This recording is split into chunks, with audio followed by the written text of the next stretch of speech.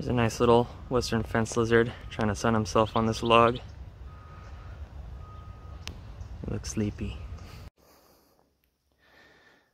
So, just walking a trail and came across this Santa Cruz aquatic garter snake. This would be um, probably a young adult. The Santa Cruz aquatic garter snake is just a subspecies of the aquatic garter snake, is Thamnophis atratus, or Tratus, however you want to pronounce it. And obviously, it's the subspecies that's found in the Santa Cruz Mountains.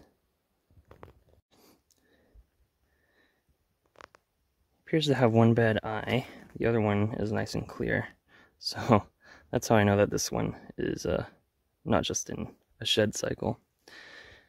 Really pretty orange belly on this guy.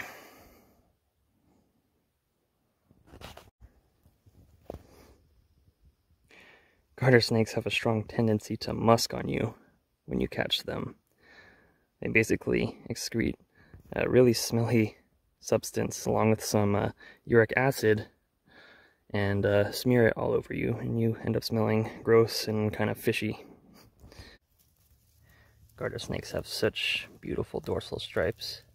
Dorsal means the top portion of the body on an animal. Now that we've taken a nice look at this guy, I'm going to let him go exactly where I found him. He was just heading um, through the pine needles here into the brush under this manzanita.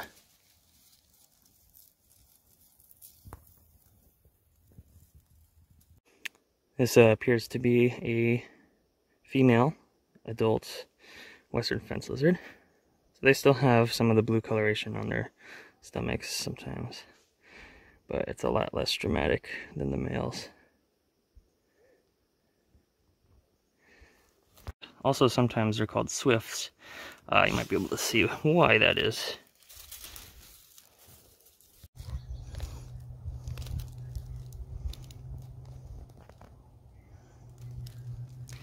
Okay, just found my second Santa Cruz aquatic garter snake of the day. He was just crawling through the leaf litter. This is a little baby, a neonate.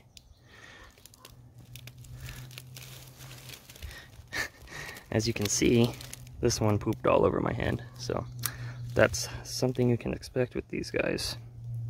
And it is quite smelly, but it's always worth it to see a snake to me. So as before, I'm just gonna go ahead and let him go where he was. And you'll see him disappear into the leaf litter.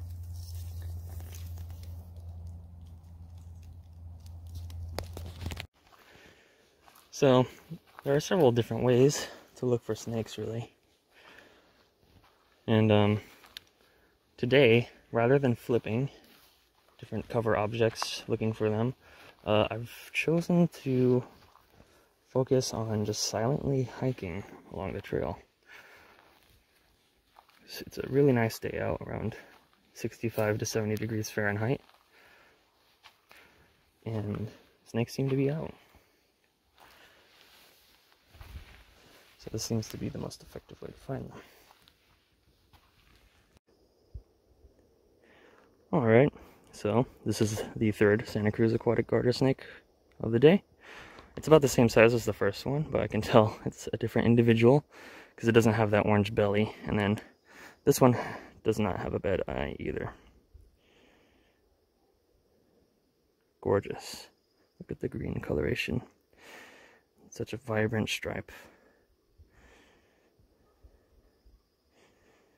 Surprisingly, this one hasn't musked or pooped on me. Just tried to bite me a bunch of times. so, only one species so far today, but any day that you find multiple snakes is a good day, in my opinion. The common species are very, very beautiful as well. I'm going to go ahead and let him go on his way just where we found him.